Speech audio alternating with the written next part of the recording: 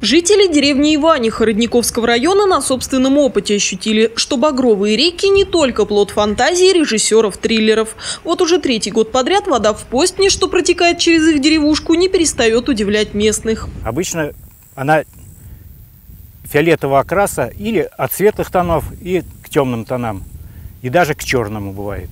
Цветовые метаморфозы воды местные жители заметили уже давно. Теперь, несмотря на летнюю жару, детей купаться не пускают. Более того, даже прополоскать белье стало негде. Белье сейчас не полощут. А когда была хорошая, все полоскали это белье.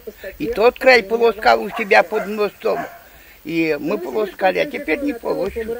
Внимание общественности к проблеме привлек один из родниковских блогеров, который выложил во всемирную паутину вот это видео. Я говорю, тут невооруженным глазом видать, что краска.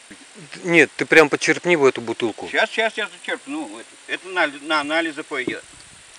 Ролик на ютубе успели посмотреть сотни пользователей, после чего автор удалил его. Но проблема осталась. По словам местных, они заметили в переменах цвета воды определенную периодичность. Оттенок интенсивнее в пятницу вечером, а в остальные дни – розоватый, что натолкнуло селян на догадку.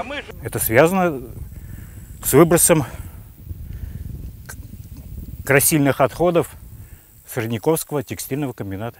На месте комбината, про который говорит Александр, сейчас располагается гордость региона – Родниковский индустриальный парк. Именно отсюда, считают жители Иванихи, к ним текут багровые реки. Родниковская администрация в курсе проблемы. Здесь уже создали специальную комиссию. Взяли пробы воды из постной и направили их в Комитет по природопользованию региона и в природоохранную прокуратуру.